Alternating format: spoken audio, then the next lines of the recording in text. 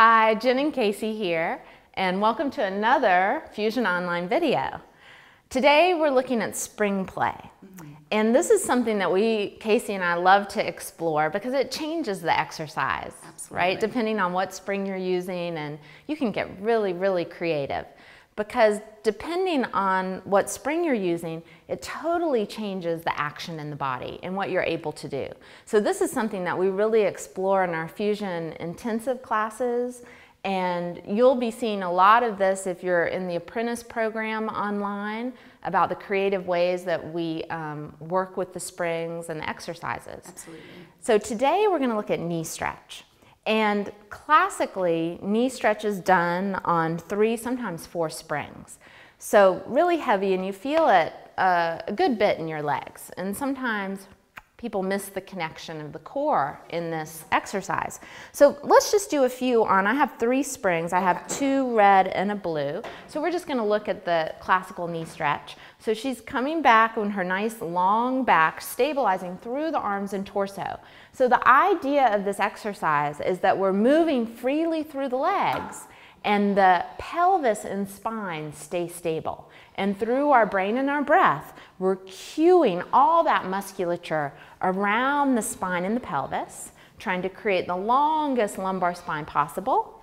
Good, and release. Very nice. How'd that feel, Case? Good. Um, hard, definitely more kind of leg glute centric. Right. Definitely. Yep. Mm -hmm. So let's lighten the spring quite a bit to one blue, and let's look at what happens. So we're gonna do that same exercise on the blue spring.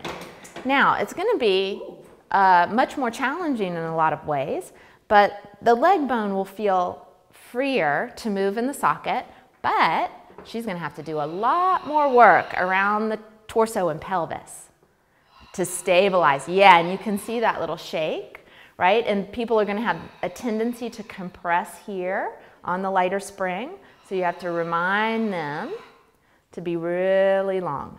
Beautiful, and go ahead and rest. Now, this light spring lends itself to a lot of creativity. So we can go into a little sequence like a cat-cow. So mm-hmm. you're gonna come back into that same position.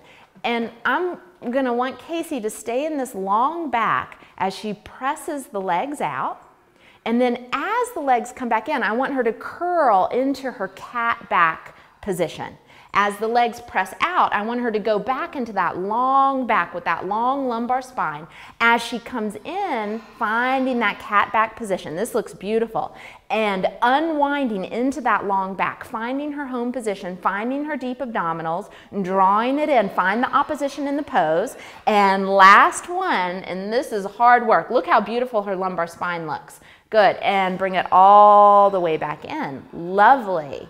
And you can also do some different variations with this. Go ahead and rest, Case. Okay. Woo, she's hot. yeah, absolutely. that builds heat, right? It builds heat immediately. Yeah, yeah. So there's lots of other different really creative um, exercises and cueing you can do with this. We just scratched the surface, but I hope you join us again. Thanks. Thank Bye. You.